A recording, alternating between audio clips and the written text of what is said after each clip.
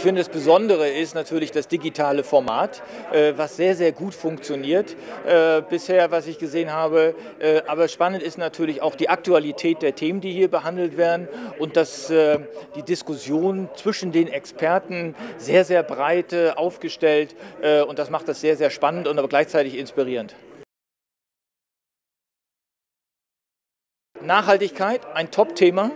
Krypto, ein wichtiges Thema. Mal gucken, wo die Reise hingeht, ob Trend oder Hype.